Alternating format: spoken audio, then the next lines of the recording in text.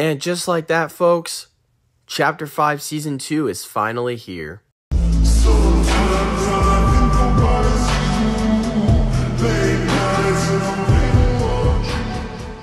What is going on YouTube and the great people of the internet? It is your boy ThunderBuddy29 here, back today with another video.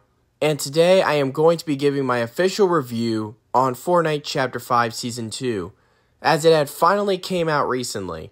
But before I get right into that, first of all, I just want to thank you all for the massive love and support you've been giving me on my previous three videos. And once again, thank you guys so much for 7,000 subscribers. And second of all, I hope you enjoy these types of videos, and if you do enjoy this video, smash the like button down below, subscribe, share this with your friends, and hit that bell so you will never miss another video. And of course, join the channel today. For as low as $2 a month, we would love to have you here on the channel. So join today, link in the description below. But anyways, we got a lot to get into in this video, so without further ado, let's begin, shall we? Alright folks, so if you've been subscribed to my channel, you pretty much know how this works. But to those who aren't, first things first, I'm going to react to the opening trailer and then talk about the Battle Pass and then talk about the season itself. So anyways, sit back, relax, and enjoy the video.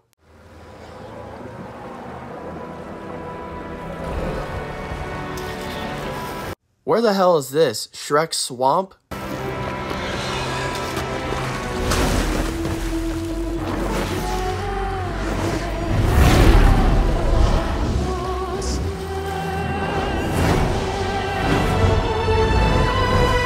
I'm assuming this is one of the new map locations. Now, I definitely have to say it looks interesting so far.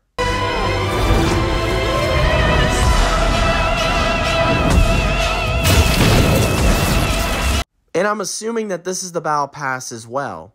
And I also see the suppressed pistol, which is honestly a sign that we could be seeing some more OG guns return this season.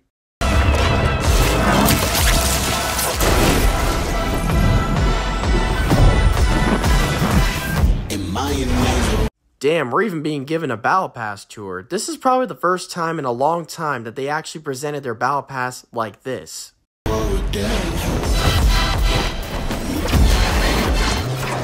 So now you can use wings to fly, and now you can crash on top of people. I swear, this is like the Planes 2.0. And that to me is already a big red flag.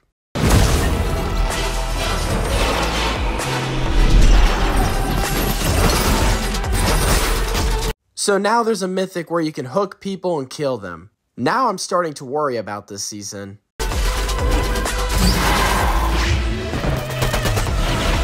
Who the hell is this supposed to be? Doc Ock's new wife? Honest to God, it looks like that girl from Monsters Inc. if she was a human.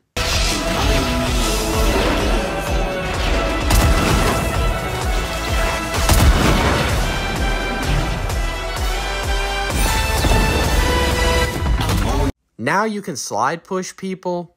Interesting.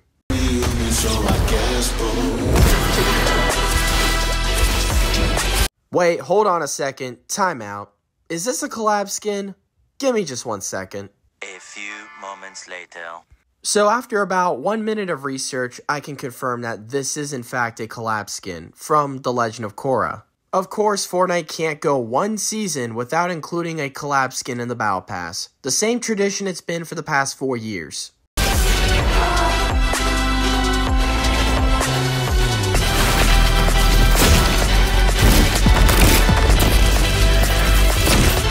Out of all the mythics I've seen in this trailer, this is the one that really concerns me the most.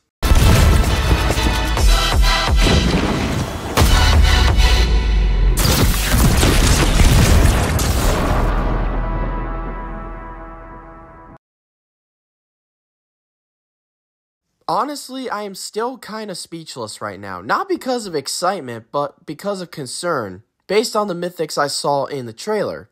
Now, before I get right into that, let's first talk about the Battle Pass. Now, this Battle Pass, I actually think is an improvement compared to last season. Well, at least on the most part.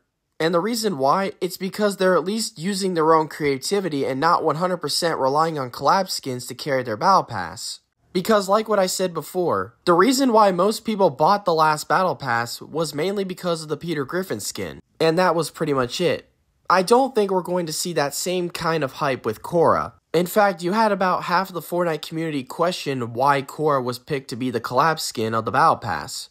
Because the theme of the season is supposed to be about ancient Greek mythology, and in my opinion, Korra really does not fit in that well with the theme of the season.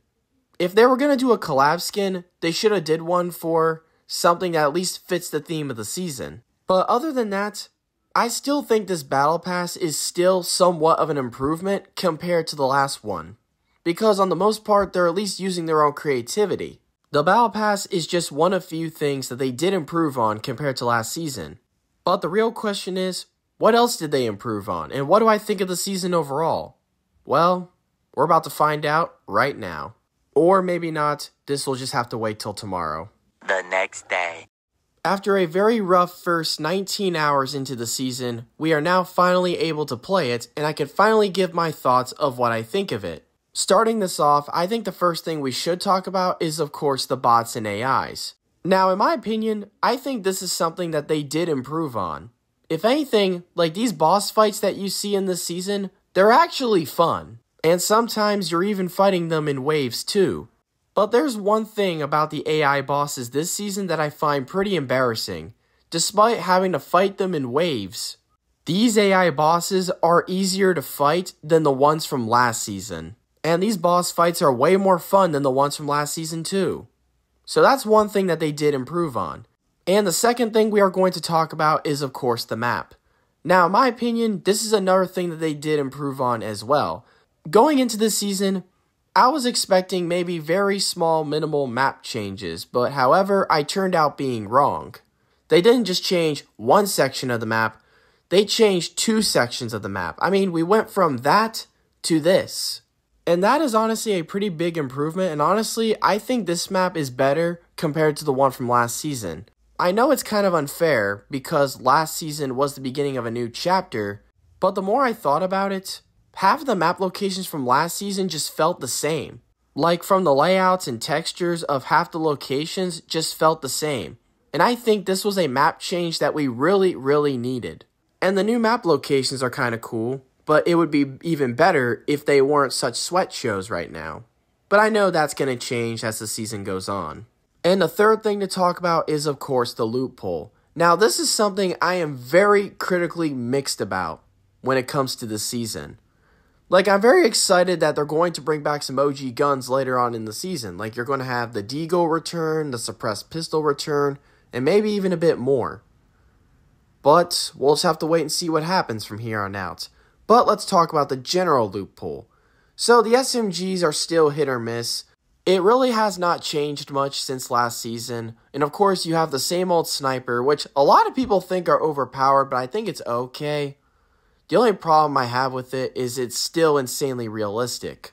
Now, the shotguns too really have not changed that much. You still have the hammer pump and the frenzy shotgun with an additional new three shot shotgun, which I think it's a decent shotgun, but it would be a lot more useful if you did not have the frenzy shotgun still in the game. And that shotgun is so fucking overpowered. I wish they would have took it out this season, but unfortunately they didn't.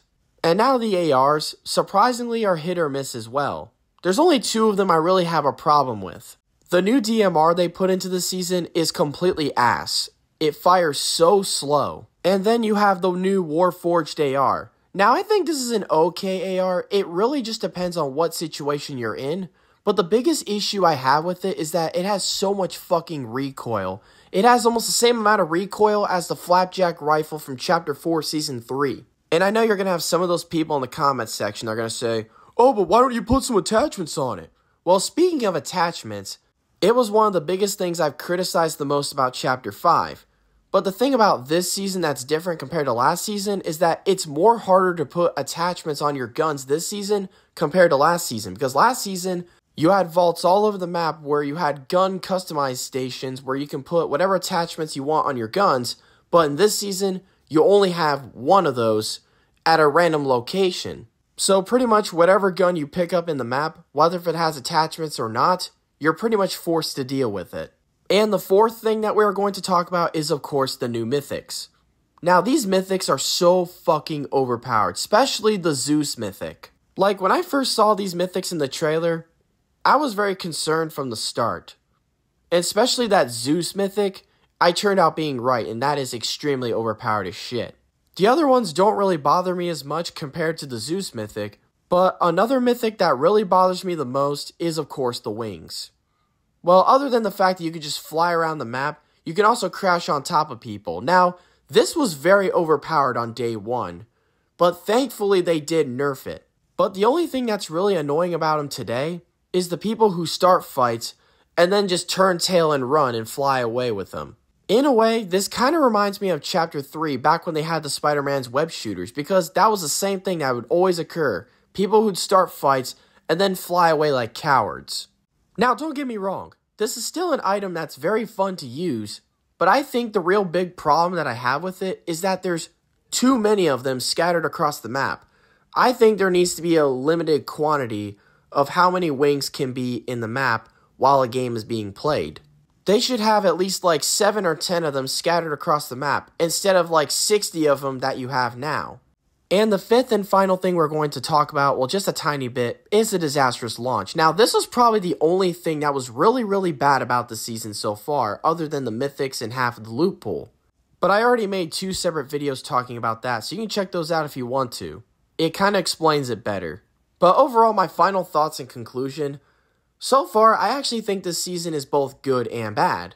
Other than the overpowered mythics, the disastrous launch, and half the loot pool, I still think this season is quite good.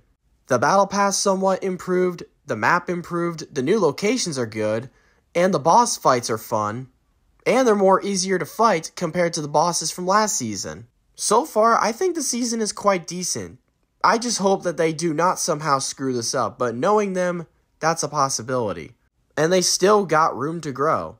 If they don't drop the ball, if they add in some good updates and give us some good content during the season, maybe this season will be remembered for more than just having the disastrous launch.